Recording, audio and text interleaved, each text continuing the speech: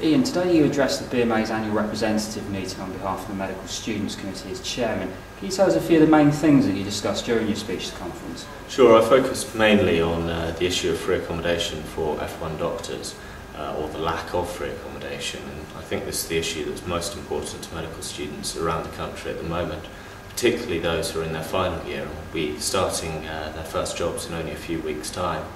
Uh, traditionally, first year doctors, pre-registration doctors or foundation year one doctors have been given accommodation in the hospital for free.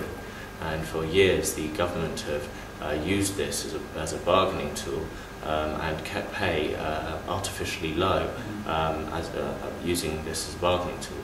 Uh, so it seems, seems to reason that when they remove it, there should be a compensatory pay rise. And unfortunately, uh, the DDRB didn't recognise this, and the Department of Health haven't uh, honoured this. Uh, so we're very disappointed about that, and we think it's going to cost uh, uh, junior doctors an extra, uh, on average, about an extra £4,800 a year for accommodation that was previously free. Mm-hmm. Um, and at the same time as this, medical student debt is rocketing. Uh, currently, uh, students graduate on average £21,000 in debt, but those who are starting medical school today, um, with the introduction of top-up fees, uh, will be uh, graduating, we predict, on average about £37,000 in debt.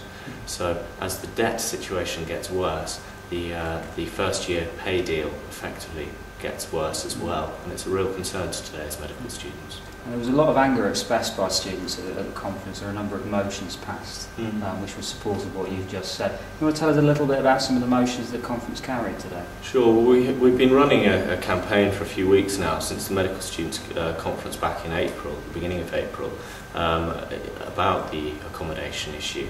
And uh, the first part of the campaign was, was getting people to write to MPs, and I'd encourage anyone who hasn't yet done so to, through the BMA website, write to their MP on this issue. Um, and we, we had some local protests which were all very successful. And we're, we're raising it again uh, in a couple of weeks' time.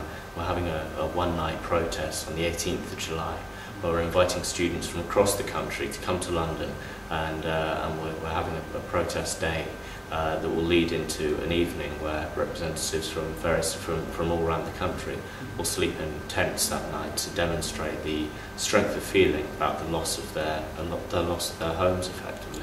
And just one final point, there was some good news today from Wales about this issue. Can you just tell us about that? Yeah, the Welsh Assembly Government have decided to do the right thing and they've decided to continue the, uh, the free accommodation for another year and it's, it's quite clear, we have all the evidence, that the government always said that before they made this change, they would alter the contract mm. uh, to, to compensate for it.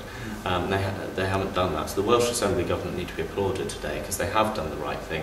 And uh, uh, Foundation Year 1 junior doctors in Wales will continue to get accommodation provided for free from next year. And I call, call upon the other governments in England, Scotland and Northern Ireland to do the same. Okay, thank you very much.